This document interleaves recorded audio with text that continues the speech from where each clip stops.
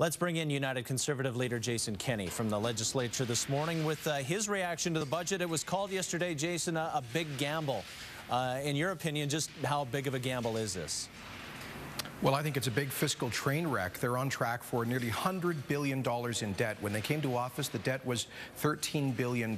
So the NDP is planning for a 640% increase in what we owe as Albertans. Uh, that means they're driving up interest costs to nearly 4 billion a year. We're already spending more in interest for bankers than we spend in services in 19 of the 23 government departments.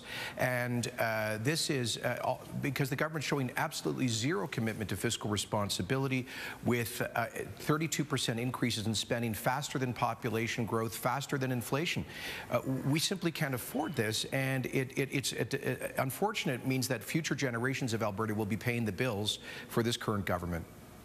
Days ago, we uh, we had chatted with you and the uh, the other opposition members about releasing shadow budgets. At the time, you you said that you didn't plan on doing that because it was considered a gimmick. But now that you've seen the, the government's numbers, uh, what would you have done differently to try and uh, get us out of the red?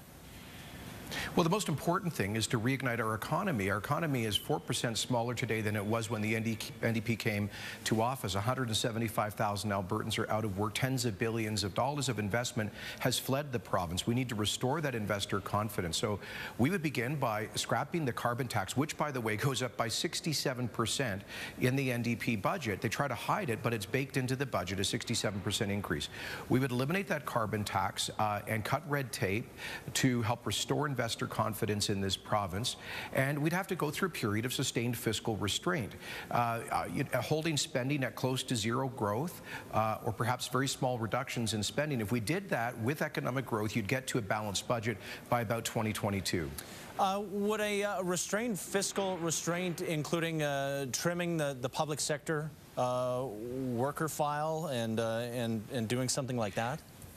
It, it, would probably require reductions in the size of the public service through attrition uh, because uh, the public sector has grown um, by tens of thousands of jobs while the private sector has shrunk by even more.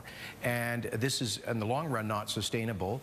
Uh, Alberta has the most inefficient uh, provincial government in Canada by a country mile. We spend about 20% more per person than the average Canadian province to deliver the same services, and many of them have better outcomes in various areas. So uh, we would need a period of sustained fiscal fiscal restraint. I honestly thought we would see some of that in this budget. The government seemed to have telegraphed that, but they just threw caution to the wind. Uh, you've had a chance to go through the budget. Uh, anything in that budget that, that pleased you, that gave you a little bit of optimism? There, It can't be all doom and gloom on every single line. Well, one thing ple that pleased me is they had a very simple and expensive budget cover. Uh, Justin Trudeau spent a quarter of a million dollars on his last budget uh, front page, so that showed a little bit of a, a bit of economy.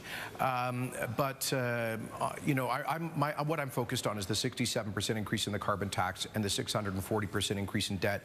I don't think you can uh, put lipstick on that pig.